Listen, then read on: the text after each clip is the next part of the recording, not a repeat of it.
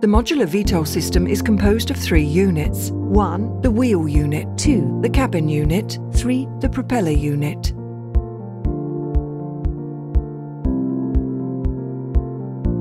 The pod bus reaches a vertiport and the platform lifts up. The propeller unit is docked in place at the pergola and combines with the pod bus.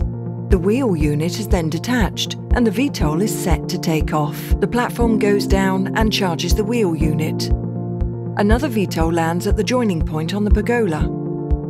The platform raises to combine the wheel unit and the docked VTOL. After the propeller unit is separated, the pod bus goes down to the V-port, while the separated propeller unit is charged by Smart Pergola. The modular VTOL system is available in three sizes, for one passenger, the simplest and most compact unit. For two passengers, an automated flying unit with seats facing each other.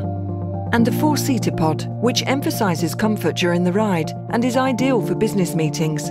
It can also accommodate an emergency stretcher.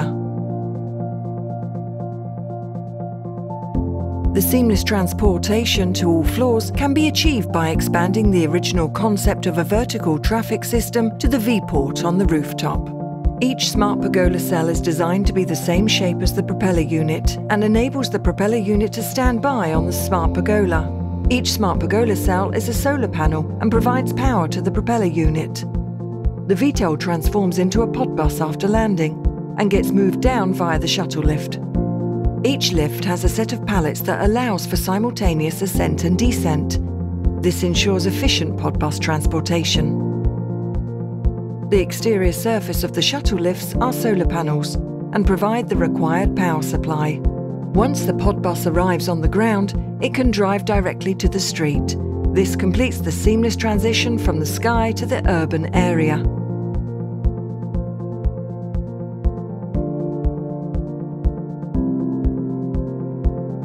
The lift pallet with built-in motor is supported by a cantilever structure, which runs along the channel in the shaft. There are two channels, one for up and the other for down. It rotates 180 degrees between the roof, the pit and the transfer floor, facilitating efficient transportation. The pallet rotates in the overhead or underground pit to allow it to switch to the ascending and descending routes.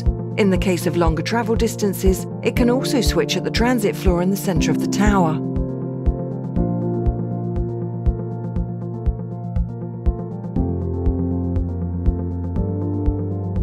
Vertical access is made possible by shuttle lift technology, and people can transit to and from the local mobility hub on each floor. At the ground floor level, the tower volume can be raised so that the mobilities can move freely below the tower. This allows for a three-dimensional urban plaza to be created on the ground below the tower. A V-port is situated on the rooftop. A shuttle lift can connect directly between the ground and sky. The logistics centre function on the roof allows for seamless integration of the tower architecture and the city on the ground level. By shifting the building volume, it allows for V-port operation on the transfer floors, making accessibility more efficient and direct. The shuttle system also demonstrates innovative building evacuation. The system supports an inclusive society, particularly for disabled workers, by providing a one-way evacuation route when necessary. By raising the logistic hubs, it facilitates the seamless movement of people on the ground and reduces underground construction.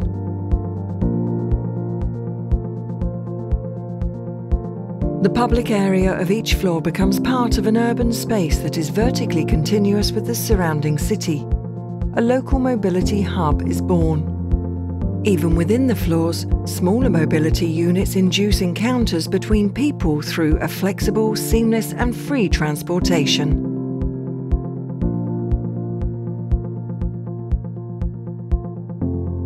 The ground level becomes a park-like space 3D travelling will be further enhanced by ramps or other means. The SMS seamlessly connects the ground level, all building floors and the sky.